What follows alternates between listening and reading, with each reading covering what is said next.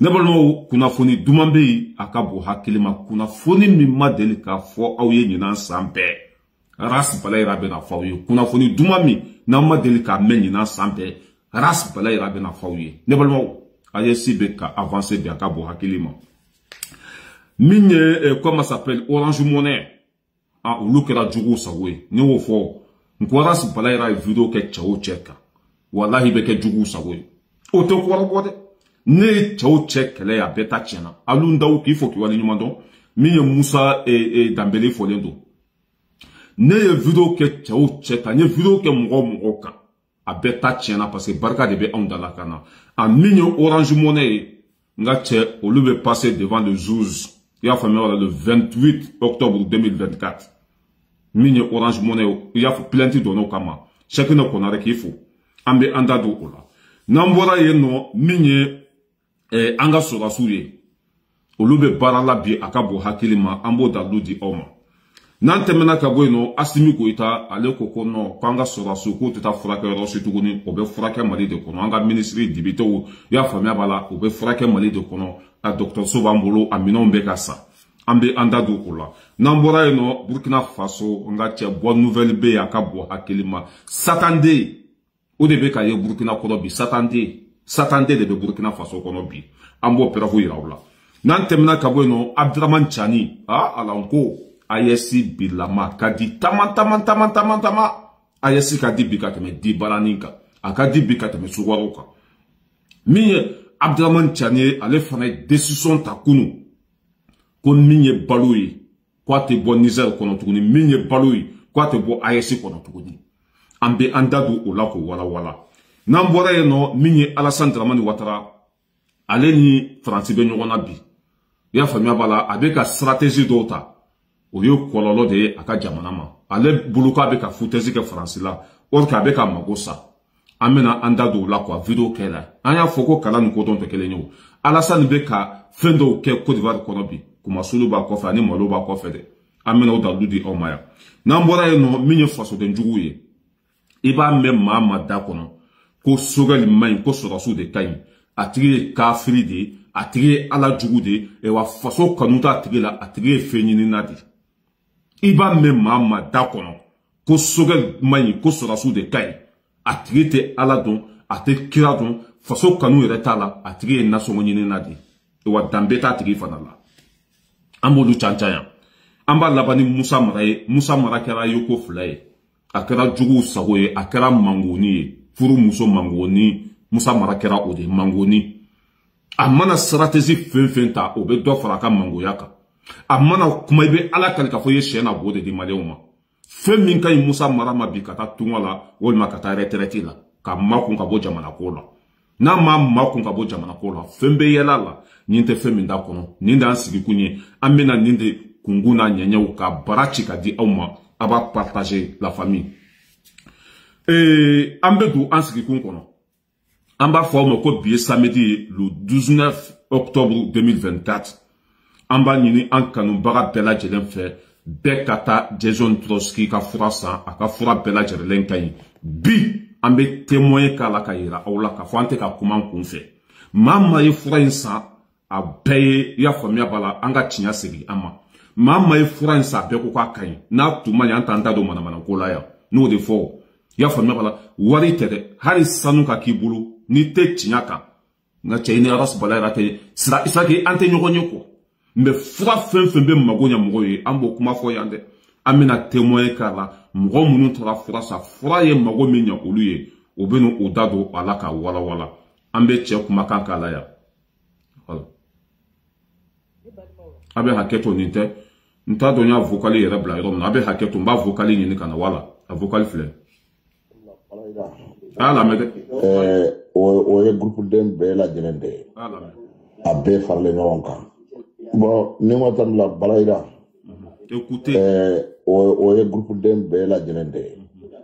a bɛɛ faralen ɲɔgɔn kan nin kuma min ni n bɛna fɔ o ye kuma wɛrɛ de ye ne kɔni bɛ mɔgɔ eh, i bɛ publicité min bɛ kɛ groupe la n'o ye Jason ka fura ye bon ne tɛ pibu k'an ye dɛ wala ne kɔni bɛ min ɲini jama bɛɛ lajɛlen bolo a bɛɛ ka fɛɛrɛ kɛ k'a ka fɛ fura ninnu ta k'u lajɛ kuwa ne kɔni bɛ min ɲini aw bolo gurufuladenw a y'o de ye kuwa wala parce que hadamaden i y'a lɔ n'a fɔra ko karisa bɛ furakɛli kɛ n'i ye karamɔgɔ tɛ a ti a ti a i tɛ se i ka baara in tɛ se ka furakɛ kuwa wala ne jesɔni ka fura dɔ ta aa wɛrɛma alihamudulilayi wɛrɛma an ka bɛn tiɲɛ la kuwa wala n y'a ka fura ta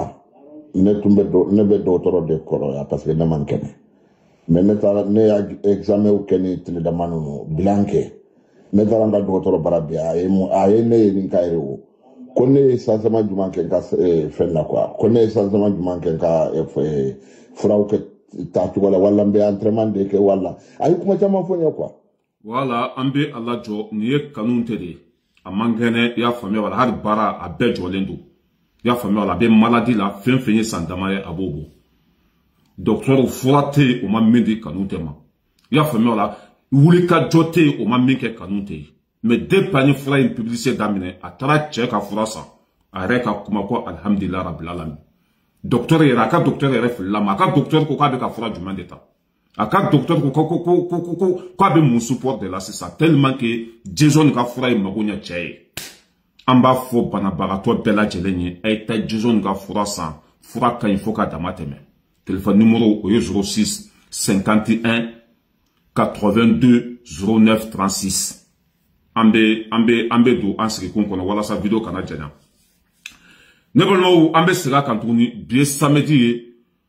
le 19 octobre 2024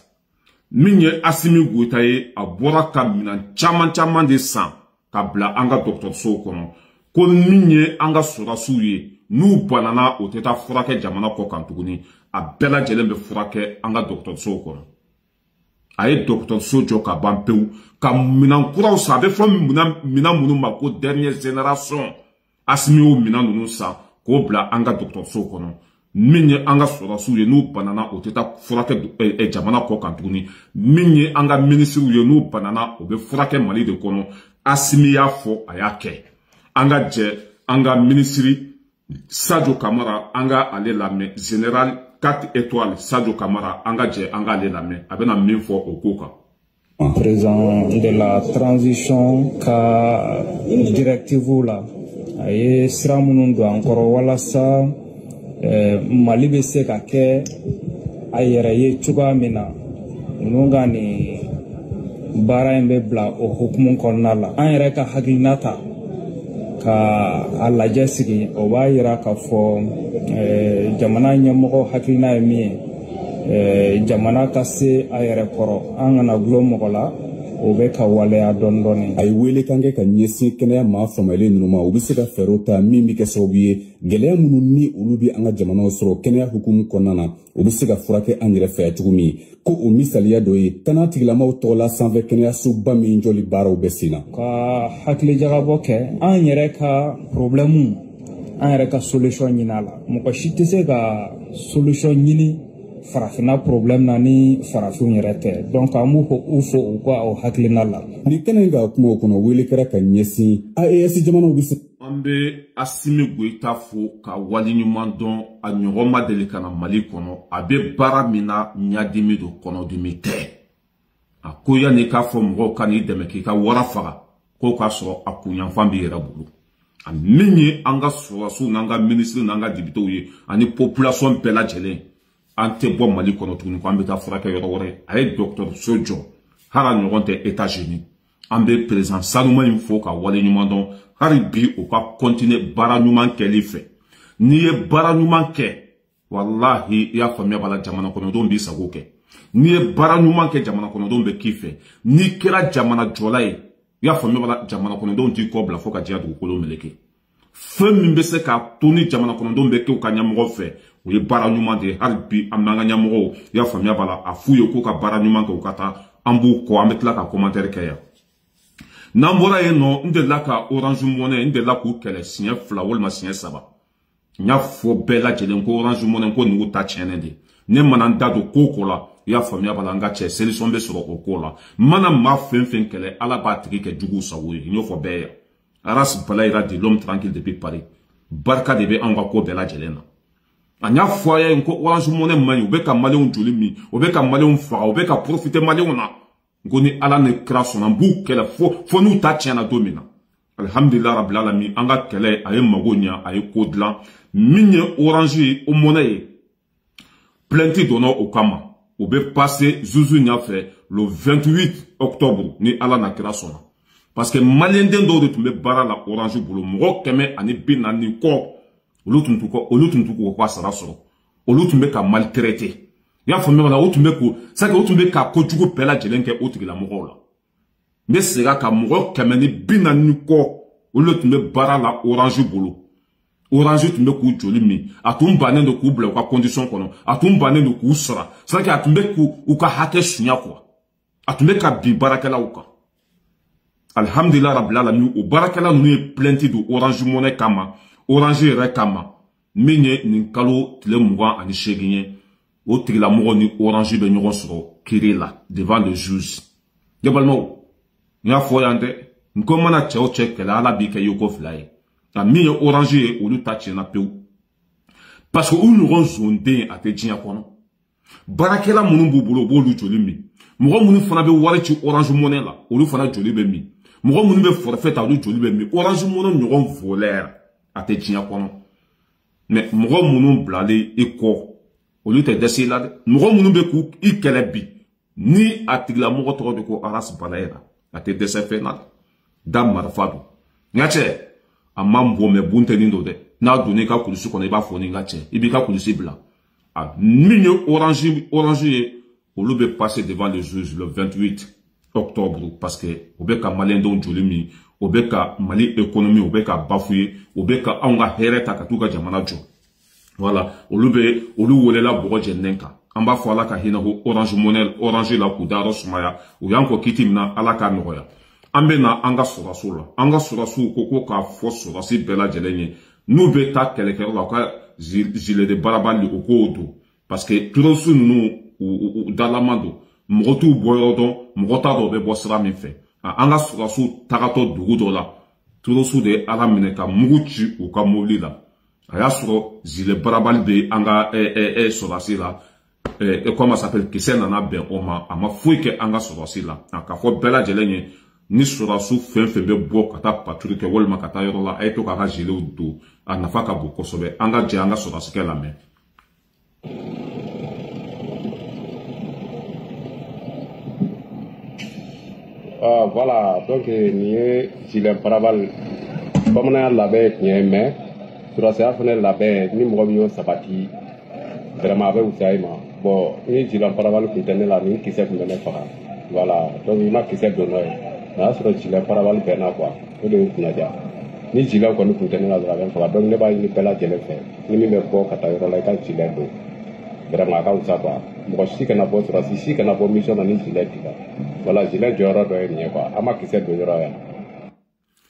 wala zile eh, jɔyɔrɔ dɔ filɛ nin ye dɛ sɔrɔsikɛ b'a ka mobili kɔnɔ o bɛ ka taa misɔn na torosu de ye ala minɛ u bolitɔla ka mugu ci mobili la a kisɛ ye mobili vitiri sɔgɔ ka na bɛn sɔrɔsikɛ disi ma mɛ a y'a sɔrɔ zile barabali bɛ yen a ma foyi kɛ sɔrɔsikɛ la an b'a fɔ sɔrɔsi bɛɛ lajɛlen ye aw kana ɲinɛ aw ka zile kɔ n'a bɛ bɔ dɔrɔn a y'a ka zile don parce que mɔgɔ ninnu kafiriw don u b'u dogo de ka taa ka taa jan da mɔgɔw ɲɛ kuwa mɛ n'a y'a sɔrɔ i labɛnnen don o tɛ se ka foyi k'i la k'an ka sɔrɔsiw fɔ ka tila ka dugawu k'u ye ala k'aw kisi jugu tɔɔrɔ ma ne balimaw an bɛ taa burukina faso min ye kapitɛni ibrahim tarawele ye an y'a fɔ aw ye k'a bɛ baara la wa sɔsɔ cogo tɛ kuma in na burkina bɛ ka développer bi a ka bon hakili ma burkina bɛ 180 à l'heure de la ne balimaw depuis ala ka n da ma deli k'a ye ma deli k'a mɛn fɔlɔ tellement que hɛrɛ bɛ ka sɔrɔ burkina a burkina bɛ den minnu tun bɔra burkina bɛ kan minnu tun bɔra ka taa tunga la ka taa jamana kɔ kan n'an b'a f'o ma ko diaspora a o diaspora mɔgɔ ninnu kɛmɛ o kɛmɛ sigila bi wolonfila ani saba olu bɛ ka sigi burkina faso kɔnɔ bi olu bɛ ka tuma bila ka t'u sigi burkina faso ça donne quoi ça montre quoi hɛrɛ bɛ burkina kɔnɔ u bɛ ka taa fɛn min ɲini kɔ kan o bɛ ka sɔrɔ burkina faso kɔnɔ bi la famille n'an bɛ taa an bɛ se n bɛ segin a kan burkina bɛ minnu bɔra ka taa jamana kɔ kan ka taa wari ɲini k'u kɛ ba kan ka taa espagne italie allemagne faransi ninnu cote d'ivoire ninnu olu bɛɛ bɛ ka segin u faso la bi parce que o bɛ ka taa fɛn min ɲini jamana kɔ kan o bɛ ka sɔrɔ burkina faso kɔnɔ bi burkina bɛ ka développer a burkina population fɛn fɛn bɛ jamana kɔ kan a bɛɛ lajɛlen bɛ ka segin bi ka t'u faso la ka taa baara kɛ u faso kɔnɔ an b'a fɔ o ma ko alihamudulila rabila lami ni hɛrɛ tun tɛ yen jamana kɔnɔdenw tɛ segin dɛ o de la n ko bɔ nouvelle bɛ bɛn a ka bɔ hakili ma parce que ni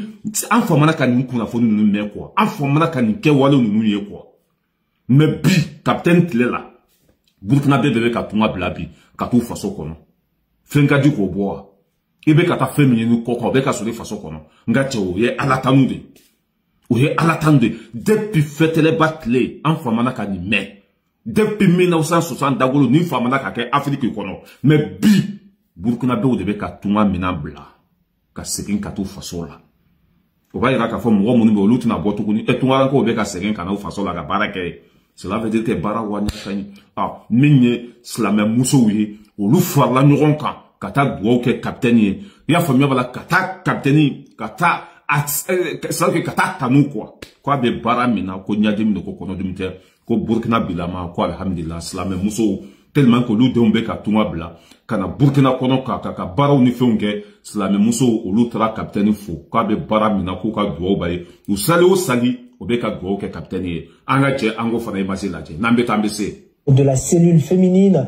de la communauté musulmane sont allés témoigner leur engagement au chef de l'État ce vendredi tout en encourageant le capitaine Ibrahim Traoré pour ses actions en faveur de la libération du pays. Elles ont invité les Burkinabés à s'unir autour des autorités de la transition. Écoutons un extrait de la déclaration de la porte-parole de la délégation. Ce matin, nous sommes là pour euh, rencontrer le chef de l'État euh, pour lui signifier notre engagement, notre soutien à son égard pour le combat quotidien qu'il abat. Certes, les femmes ne sont pas sur le terrain de combat, mais dans nos cases, dans nos maisons, toutes les nuits et toute la journée, les femmes sont mobilisées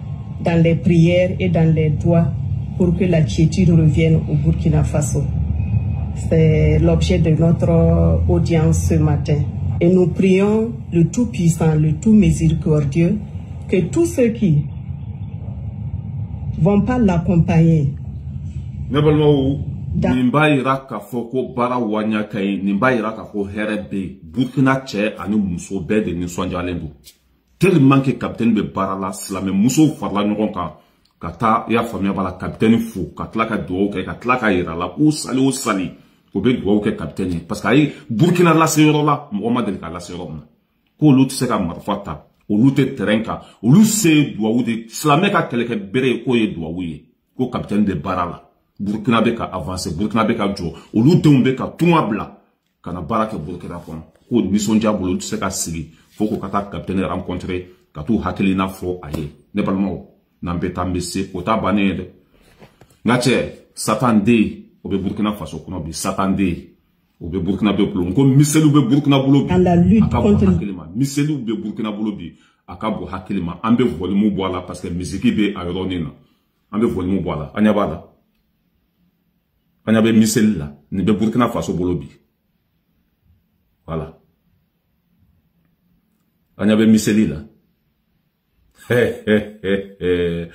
o de la ni ne ye dramani watara ye kuwa n ko c'est pas la peine a y'a lajɛ dɛ nin ye burukina de ye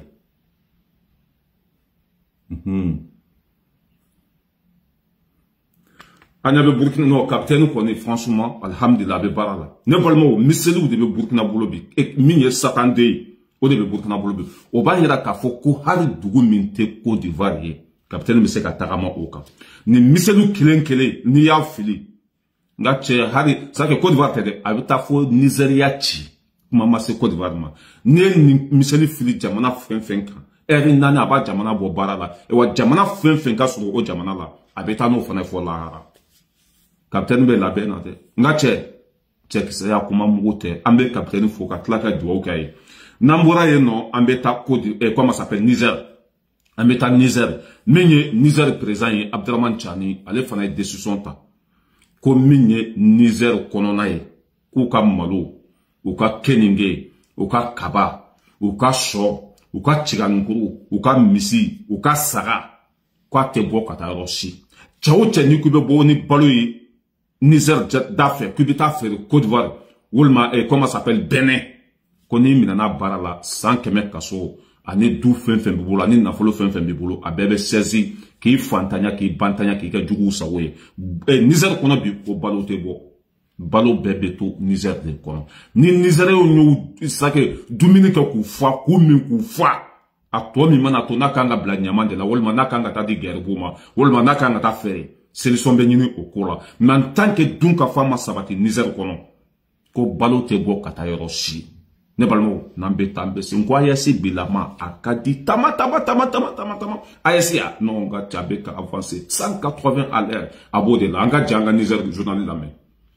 consommation sur les marchés, le président du Conseil de consommation sur les marchés, le président du Conseil national pour la sauvegarde de la patrie, chef de l'État, a décidé de l'interdiction de l'exportation des céréales Si après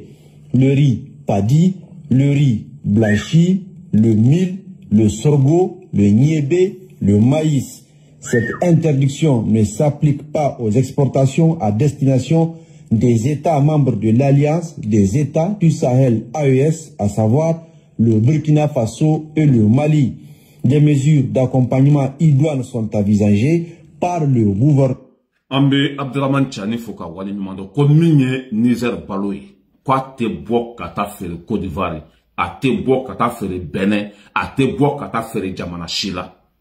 n'a bɛ bɔ dɔrɔn a bɛ ka taa mali la n'a bɛ bɔ dɔrɔn a bɛ ka taa burukina sinɔn olu ka balo tɛ bɔ tuguni o b'a yira k'a fɔ n ka cɛ e, mali misi tɛ ka taa cote d'ivoire min ye nizɛr fana olu fana ye balo tigɛ a n'an bɛ taa san bɛ dugawu de kɛ ala ka ala ka hinɛ papa ado la sinɔn n ka cɛ tɔɔrɔ bɛ ka tɔɔrɔ bɛ ka n'a ye dɛ e nizɛr fana ka balo tɛ taa ye mali de tun b'o sarfe soko la bi misigolow tɛ ka ye yen ne balimaw dɔw ko ko n kana nin fɔ ne yɛrɛ ye ivoirien de o mɛ alasani ma ye de ni alasani tun ka ɲi walahi mɛ a ma ɲi a ma ɲi a ma ɲi wala min ye abdurahmani cani a bɔra ka nin desusɔn de ta balo a bɛ to as de kɔnɔ a tɛ bɔ ka taa yɔrɔ si tuguni an bɛ abdurahmani cani fo ka wale ɲuman dɔn walasa video kana janya an b'a teliya an bɛna comment s'appelle alassane dramani watara a ye hakilina dɔ ta tɔɔrɔ b'a kɔfɛ dɛ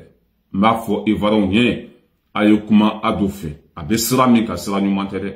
a bɛ sira min ka sira ɲuman tɛ n b'a video ɲini ka na parce que ale bolo k'a bɛ ka dimi don faransi la or que a bɛ k'a yɛrɛ mago de sa ale bolo parce que ani faransi man di sisan alasani ni faransi man di ah bɛɛ lajɛlen b'a dɔn ko faransi ka eh, comment s'appelle hɛrɛ bɛ eh, comment s'appelle eh, eh, liban faransi ka hɛrɛ bɛ pɛtɔrɔli ni fɛn fɛn faransi b'a bɛɛ ta liban de a walasa ka dimi don faransɛw la a bɛ ka libanɛw de lagosi ko libanɛ fɔlɔ minnu bɛ cote d'ivoire k'olu ka ɲi mɛ ko laban minnu bɛ ka na k'a bɛ ɛsibola mɔgɔw de o bɛ mun de yira sisan ni e ko ɛsibola mɔgɔw dɔ min ye israɛl de olu tɛ tulonkɛ la dɛ ɛsibola mɔgɔ mana ye jamana fɛn fɛn kɔnɔ o b'o jamana ci o bɛ mugu fili ka taa yen bɔn ale bolo n'a ye nin kɛ sisan k'a fɔ ko hezbola mɔgɔw k'u bɛ ka na eh, comment s'appelle eh, eh, eh, Côte d'Ivoire kɔnɔ i y'a faamuya o ye de ka dimi don faransi la parce que faransi ka hɛrɛ bɛ liban faransi faransi bɛ ka liban dɛmɛ sisan n'ale ko ko eh, eh, comment s'appelle eh, eh, eh, eh libano eh, hezbola mɔgɔw bɛ ka na Côte d'Ivoire o ye lagosi de ye ka ɲɛsin faransi ma or que o kuma conséquence b'a kɔfɛ parce que min ye israɛl ye i mana o kuma sugu fɔ dɔrɔn olu b'i ka jamana bombarde de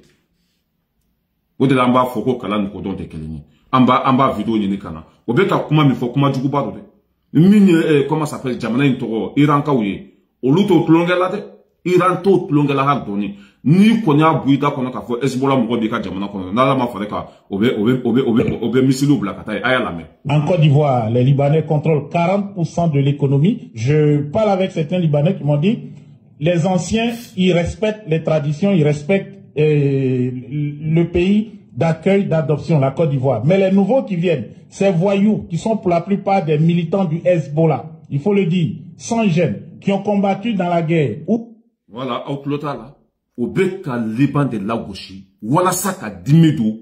français ou oh là. parce que faransi ni iran ka di bi faransi n'o liban faransi ni liban ka di bi faransi ka pétrole bɛɛ bɛ bɔ liban de bon n'u ye liban lagosi k'a fɔ ko liban minnu bɛ eh, Côte d'Ivoire kɔnɔ bi voyous don esbolaw don binkalikɛlaw don o tun bɛ o tun bɛ kɛlɛkɛyɔrɔ la fɛnw don o bɛ digi faransi la or que i y'a faamuya b'a la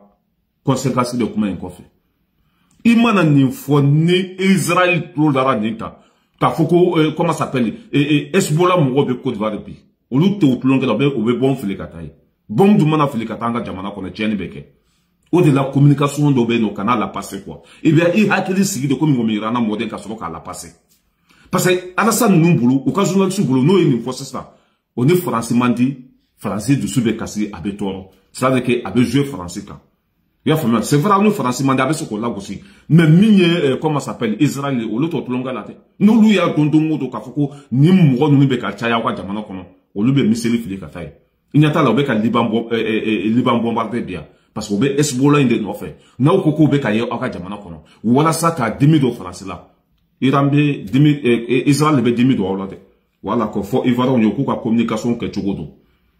n'a tora k'a fɔ k'o bɛ ka caya aw ka jamana kɔnɔ nɔ iran eh, comment s'appelle israel bɛ taa kɛlɛ kɛ yen dɛ israel bɛ taa kɛlɛ kɛ yen parce que israel tɛ mɔgɔ ninnu fɛ n'aw ko k'u bɛ ka caya aw ka jamana kɔnɔ a man ɲi dɛ wala an b'o f'u ye k'u hakili dayɛlɛ n'u bɛ communication kɛ k'u miiri kosɛbɛ kuwa yanni u ka communication kɛ an bɛna fasoden juguw la mɔgɔ dɔw b'a la bi sogɛli man ɲi sogɛli kan ka denmisɛnnin sogɛli kan ka wala sɛmɛ sogɛli ko ɛ ala ko i b'a mɛn mɔgɔ mɔgɔ da kɔnɔ nafiki den don fana soli don ala jugu don kafiri don bɔnɛma wolo don mali kanu kisɛ kelen tɔw tigi dusukun na maa min ma b'a la bi ko sogɛli k'a bila walima ko sogɛli man ɲi a tigi ye nasɔngɔ ɲinina de a tigi ye kalabanci de a tigi ye jamana cila de e ka vidomani ɲɛnamaw jate minɛ vidomani minnu ta ye maliko ye ni danbe b'u la n'u b'u faso fɛ e b'o ye ka nin kuma sugu fɔ hali ni sogɛ ni filila o t'a akise ka se yɔrɔ dɔ la parce que ni sogɛ ni nin fanga in bilala ɲɔgɔn na a bɛ se ka tiɲɛni ladon an ka jamana kun o kosɔn mɔgɔw b'u makun fɛn caman kan mɛ maa ma tɛ faso fɛ danbe t'a tigi la ni sogɛli filila walima hali ni sogɛli ma fili o b'a ye sa k'u b'a ni sɔrɔdasiw bila ɲɔgɔn na k'u b'a ni sɔrɔdasiw fara ka bɔ ɲɔgɔn na or que jamana ka hɛrɛ to o la mɛ nasɔngɔ ɲinina hasidi i y'a faamuya b'a la faso kunmasuluden a tɛ nin yɔrɔnin ye sinɔ hɔrɔnden i ta ye ka nin kuma sugu ninnu fɔ a fɔlɔ o ye ras bala yɛrɛ ye e bɛ ne ka sogɛli tanu ka sɔgɔsiw to wa walima ka asimi tanu ka sogɛli to e bɛ ne k'o kɛ yan ne t'o kɛ dɛ ne b'u bɛɛ bila minɛn kelen de kɔnɔ i b'u si i tɛ i b'u si ka nin kuma sugu fɔ min ye dirisa mɛmɛ ta i t'a ye ka nin kuma sugu fɔ min ye eh, comment s'appelle isa jawara i t'a ye ka nin kuma sugu fɔ i bɛ maa ma ye ka nin kuma sugu fɔ t'i mago la hɔrɔn den tɛ wa danbetigi den tɛ wa tigi tɛ halala yɛrɛ ye a tigi bɛ nasɔngɔ ɲini de la an b'a fɔ mɔgɔw ye k'u ka fɛɛrɛtasɔn kɛ mali mago tɛ farafarali la mali mago tɛ eh, comment s'appelle min ye asimina ka minisiri u ka fara u ka bila ɲɔgɔn na u tɛ mali arrange ye u tɛ hɛrɛ ye faso ma u bɛ na ni jamana ci de a bɛ mɔgɔ mɔgɔ da kɔnɔ a y'a tigi ezole a y'a tigi kɛ samiyabo ye a y'aw jigi ka bɔ tigi ka pasi sanfɛ a y'a tigi ye k'a to yen hali a kana tigi lamɛn tuguni parce que a tigi tɛ mali jɔla ye a tigi tɛ mali fɛ wa danbe yɛrɛ t'a tigilamɔgɔ la maa maa bɛ nin kuma sugu fɔ a tigi tɛ mali fɛ i bɛ na ni kuranɛ mɛ tɛgɛ d'a kan e bɛ aw ye k'an sigi yan ka nin kuma sugu fɔ wa an t'an sigi ka nin kuma sugu fɔ dɛ an b'an sigi yan de k'u bɛɛ tanu ni min filila an b'a fɔ bonya ni karama kɔnɔ ka sɔrɔ an b'a fɔ a ye karisa bila dɛ a ye karisa to yen a ye nin kɛ mɛ i bɛ mɔgɔ o mɔgɔ ye ka sugɛli denigere tɛ mago la a tigi ye kafiri de ye a tigi ye bɔnɛma wolo de ye a tigi ye juguw sago de ye a tigi ye nasɔngɔ ɲinina de ye wa danbe kisɛ kelen t'a tigi la danbe kisɛ kelen t'a tigi la maa fɛn fɛn b'a kuma fɔ a y'aw mabɔ a la maa ɲɛnama tɛ maa ɲɛnama tɛ yanni e ka n'i sigi ko sogɛli ma nin sogɛli bɛ jɔn ka baara la mɛ hɔrɔnw tɛ cɛw tɛ o tɛ se ka tiɲɛ fɔ ni jamana in bilama jate minɛ ni tiɲɛ ka di ye ni danbe b'i la e kɔni ɲa bɛ sogɛli ka baara kɛ cogo la i ɲa b'a la foyi t'a bolo bi ale wa a tɛ foyi kun na a b'a ka sɛzi kɔnɔ dɔrɔn a banna n'a ka n bɛ cɛ kumakan k'a la a bɛ na lamɛn sisan mɔgɔ fɛn fɛn bɛ ka bi a n bɛna cɛ kumakan k'a la sa a bɛ cɛ lamɛn an bɛ ka kuma min fɔ yan mɔgɔ wɛrɛ nana segin a kan a y'a lamɛn. personnellement n tɛ sogɛli ko kalama n t'a a ka kow kɛcogo dɔn parce que n t'a ka domaine kɔnɔ mais ce qui est clair ne ka analyse de don n tɛ mɔgɔ dɛmɛ mɔgɔ contre la mais ce que je vois là Uh, est-ce que non a vidéo man jan quoi peut-être do euh, voilà aw ye cɛ lamɛn foyi tɛ cɛkɔrɔba bolo bi n'aw nana bin o kan nin ye nin kɛ nin ye nin kɛ k'a sɔrɔ a nɔ tɛ foyi la parce que n'i ye dɔ fɔ asimi ma marifa de b'o bolo nka cɛ a b'i bo tigɛ n'i ye dɔ fɔ ya faamuya b'a la sɛn kolonɛli ma nka cɛ marifa de b'olu bolo o b'i kun ci k'i da fara k'i minɛ k'i don kaso la ɲadɔnya ni molobaliya o bɛ kɛ cɛkɔrɔba de la cɛkɔrɔba min y'a nin di faso ma cɛkɔrɔba min y'a ka vie bila danse la faso kama cɛkɔrɔba min y'a ka sante pɛridi faso kama cɛkɔrɔba min ye wuli ka jɔ kɛ walasa faso ka segin a danbe kɔnɔ o cɛkɔrɔba de bɛ ka nɛni ça nous fait très mal ça me dépasse a i b'a kuma mɛn maa fɛn fɛn da kɔnɔ cɛ tɛ parce que a bɛ bana yɔrɔ dɔn a b'a dɔn min ye tiɲɛ ye ma a b'i ɲɛ tugu o kan ka taa bin cɛkɔrɔba kan mɛ ala t'aw to yen dɛ aw bɛɛ bɛ malo aw bɛɛ bɛ nagasi yan wa bɛɛ ta bɛ tiɲɛ n bɛ dan yen an bɛ na musa mara musa mara kɛra mangoni ye musa mara kɛra hasidi ye musa mara kɛra jugu sago ye musa mara tɛ don da la an y'o kuma fɔ anw de bɛ ka musa mara kɛlɛ an bɛ ka maa fɛn fɛn kɛlɛ a tigi tɛ avanse a tigi tɛ don da la musa mara dɛsɛra min ye an ka sɔrɔdasiw kɛra zenerali ye o digir'a la a bɔra k'o kuma fɔ bɛɛ y'a canca sisan a bɛ ka t'i nɔrɔ garabali de la parce que olu degunnen dɔ bi n'a taara kuma duman fɔ olu ka kote la ale bolo ko o mɔgɔ ninnu bɛna tugu ale kɔ mɛ a ma foyi faamuya o n ka cɛ mali bɛɛ bɛ asimi kɔ wa asimi nin baara kɛ ka da eh, comment s'appelle eh, eh, eh, garabali mɔgɔ yɛrɛ de ka sécurité kama asimi nin baara kɛ ka da jamana ka basigi de kama a ma kɛ kun fɛ o bi de garabali in bila yen n ko turɔsu de tun bɛ yen turɔsu de bɛ taa ɲagamu wuto la parce que fula ninnu n'u y'u yɛrɛ kɛ bagangɛnɛw ye k'u yɛrɛ kɛ misi feerela ni fɛnw ye mɔgɔ t'u ni mɔgɔ ɲumanw dɔn ka bɔ ɲɔgɔn na o mɔgɔ t'u ni fula ɲɛnamaw dɔn ka bɔ ɲɔgɔn na a yen tun bɛ ka kɛ turɔsu mara yɔrɔ de ye o de la an ka mɔgɔw ye desusɔn ta ka garabali dama k'olu bɔ yen ka t'u bila dugu kɔfɛ musa mara bɛ ka kumaw de kan bi k'o ma bɛn e denbaya tigiw don pititi patata n ka cɛ kana dan ka nin bɛɛ kɛ dɛ e ko tɛna jɛya mɔgɔ si de ye yan mɔgɔw tigɛra e la de e tɛ don da la i y'a faamu ayiwa i dabara in a b'i lata kaso la dɛ paseke i ma ɲi an ka musa mara lamɛn ani ɲamanata ko k'u wuli ka bɔ u pilasi la ka taa dugu kɔfɛ garibali ninnu jɔyɔrɔ ye min ye bamakɔ kɔnɔna la bamakɔkaw b'a dɔn nka garibali bɛ baara di maa min ma bamakɔ maa ba yirika don ni n ye misali ta lafiya k'u ta kan n bɛ min dɔn maa ba fila ni kɔ olu bɛ baara kɛ don o don garabali nin kɔnɔ o ye gwa caman ye dɛ bagan feerela b'a la juru feerela b'a la bu feerelaw b'a la bagan kunkolo jeninaw b'a la ngolo baaralaw b'a la bi bɔn a ye sira bɛɛ tagama sisan a sira dandugu de nin de y'a ka kisɛ laban ye e wa n'a ma cogo dɔ a bɛ taa kaso la n'a fɔra ko nin tɛ kɔ dɔn a yɔrɔ dɔ de filɛ nin ye ah gara comment s'appelle garabali ka taa kɔfɛ ani mɔgɔw ni jumɛn ka fisa garabali ka taa fo fo fo a ka taa fo pelengana ani mɔgɔw ni jumɛn ka fisa n'a fɔra ko nin tɛ ko dɔ a yɔrɔ dɔ tɛ nin ye c'est que a bɛ kuma sans réfléchi quoi mɔgɔw ni o man bon ni garabali ye n'i ma sa i na fɛn sɔrɔ n'i ma sa i na lafiya mɛ ni garabali tora yen sisan tɔɔrɔ bɛ se garabalitigiw yɛrɛ de ma o de la an ka ɲɛmɔgɔ ye décision ta bɛɛ bɛ se ka lafiya cogo min na k'o baara kɛ mɛ foyi tɛ kunkolo in kɔnɔ ni fali b'o tɛ foyi tɛ kunkolo in kɔ ni mɔgɔ kɛra hasidi ye i ɲa fila bɛ ci i tulo bɛ datugu i y'a faamuya i nɛn bɛ fɔbali fɔ i y'a faamuya i dusukun bɛ geren i tɛ su ni tile nɔ ka bɔ ɲɔgɔn na kuma minnu man ka bɔ musa mara da kɔnɔ bɛ ka bɔ a da kɔnɔ bi c'est-à-dire qu'on dirait que conseil t'a bolo quoi mɔgɔw ni o man fisa ni garabali ye wa mɔgɔw ka kisi i y'a faamuya la saya ma o man fisa ni u ka t'u nɔ na garabali la ya mais il connaît pas ala ni hasidiya bolo a kɛra jugu sago ye a t'a ka fɔta n'a ka kɛta dɔn tuguni musa mara garabali ma wuli kun fɛ san joli garabali bɛ yen n'i y'a ye o wulila bi an ka ɲɛmɔgɔw bɛ garabalitigiw fɛ u bɛ fɛ k'u nin de kisi u bɛ fɛ k'u sikirize de u bɛ fɛ tɔɔrɔ kan'u sɔrɔ kuma fa n'a ba filɛ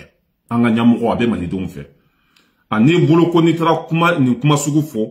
garabalitigiw olu na k'e fɛ i bolo n'i taara nin kuma sugu fɔ garabalitigiw na tugu i kɔ ca i y'a ye e na mɔgɔ tɛ tugu i kɔ ne y'o fɔ yan n ko e ka ko de banna ni mɔgɔ sara i tɛ se ka ko dilan o salen de n'i sara i tɛ se k'i lamaga i tɛ se ka kuma i tɛ se ka dɔn kɛ i tɛ se ka foyi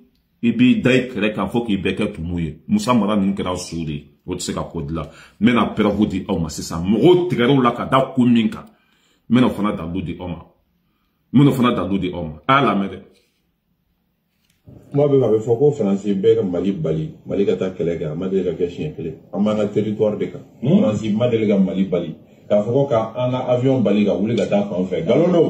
k'a fɔ ko ka an ka char bali ka taa yan fɛ nkalon don ne de b'a fɔ aw ye n'a prévu. a ko ko faransi ma deli ka anw ka avion bali ko ka wuli sanfɛ faransi ye anw ka avion bali ka wuli sanfɛ o dalilu bɛɛ bɛɛ bolo perezan y'a fɔ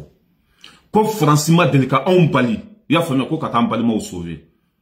faransi delila ka anw ka sɔrɔdasiw bali ka taa duguma sira fɛ waati min na fafa ogosago munjuru bɛ ka jeni asimi ninnu ko k'o bɛ taa yenkaw sauve faransi ko nɔ k'u tɛ se ka taa duguma sira fɛ ko ko ko yen man ɲi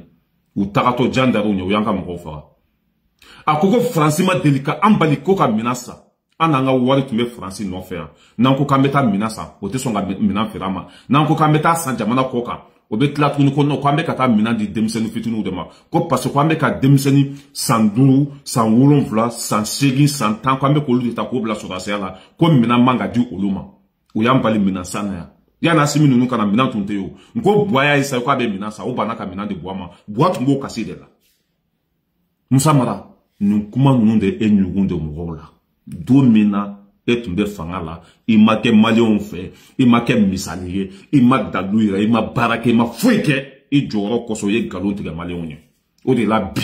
n'i kumana fo k'i nugu tigɛ n'i kumana fo k'i da fara n'i kumana fo k'i kunkolo funu mɔgɔw t'i jate n'i kumana yɛrɛ a bɛ dɔ fara i ka mangoya de kan mɔgɔ min b'i jɔ ka nin kuma sugu fɔ devant le peuple hɔrɔnya kɛnɛ ka tɔgɔ jumɛn b'a la hɔrɔn kolon nan tan kolo danbɛn tan musa mara an tɛ da i la tuguni fo ka jan dugukolo minɛ kɛ fɛn min da ka di la bi soit i bɛ taa aventure la walima i bɛ taa tunga la o kɔma sa fana i bɛ taa retraite la n'i tora nin kuma sidɔnbali fɔ ninnu na mali kɔnɔ tɔɔrɔ b'a kɔfɛ dɛ an ka ɲɛmɔgɔw to k'u ka baara kɛ u mana fɛn fɛn kɛ u y'a kɛ jamana de kosɔn u mana fɛn fɛn kɛ u y'a kɛ maliyɛndenw ka lafiya de kosɔn ninnu tɛ garabali wuli u kunfɛ tɔn